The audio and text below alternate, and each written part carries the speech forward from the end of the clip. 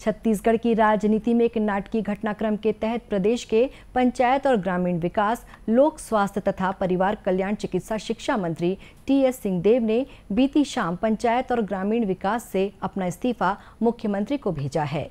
उन्होंने मुख्यमंत्री को भेजे अपने चार पन्नों के इस्तीफे के पत्र में, प्रधानमंत्री आवास का निर्माण नहीं होना, अधिकारियों की मनमानी उनके द्वारा तैयार पेशा प्रारूप में बदलाव और मनरेगा की हड़ताल की वजह से बर्खास्त हुए सहायक परियोजना अधिकारियों की बहाली को बताया है।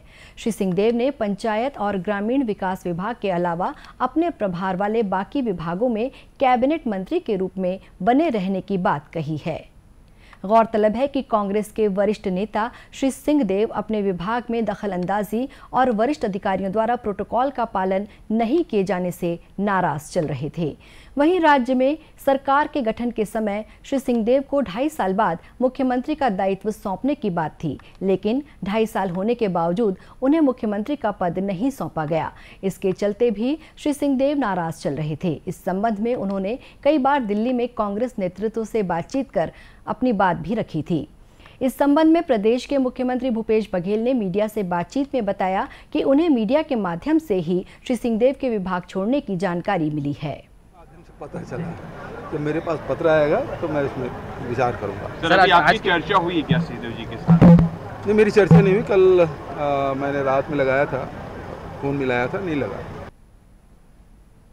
इस बीच भारतीय जनता पार्टी के वरिष्ठ नेता और विधानसभा में नेता प्रतिपक्ष धरमलाल कौशिक ने श्री सिंहदेव की उपेक्षा और विभाग छोड़ने पर सवाल खड़े किए हैं। मुझे लगता है कि हिंदुस्तान में पहली घटना होगी। निर्णय मंत्री के द्वारा लिया जाता है।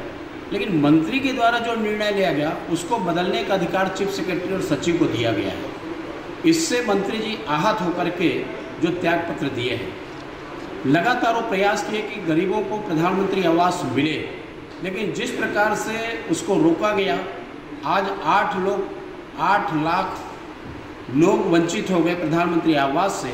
लगातार इस विधानसभा में इस बात को उठाते रहे कि तेरह लाख लोगों को आवास नहीं मिला है और ये बात साबित हो रही है, उनके त्याग पत्र में दिया गया है।